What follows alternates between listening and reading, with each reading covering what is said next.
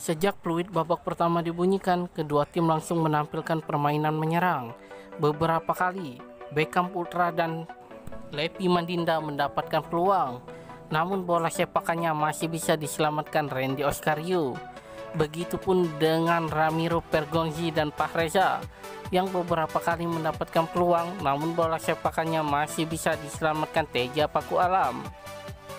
Tepat pada menit ke-9, David Silva berhasil mencetak gol dan membawa Persib Bandung unggul sementara 1-0 atas Persita Tangerang. Tertinggal 1-0, Persita Tangerang langsung menaikkan tempo permainan cepat. Pada menit ke-15, Hani Sagara mendapatkan peluang, namun bola sepakannya masih melenceng tipis ke samping gawang. Pada menit ke-32, Edo Febriansa mendapatkan peluang, namun bola sepakannya masih bisa diselamatkan Randy Oscario.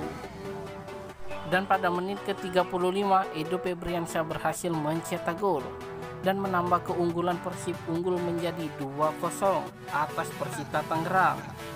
Keunggulan Persib 2-0 pun bertahan hingga babak pertama berakhir.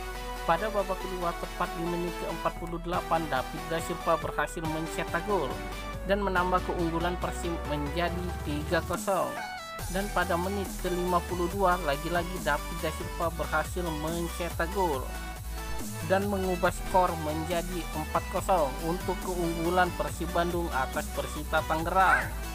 Dan pada menit ke-71 Japlan Guseno mendapatkan peluang, namun bola sepakannya masih bisa diselamatkan Teja Paku Alam.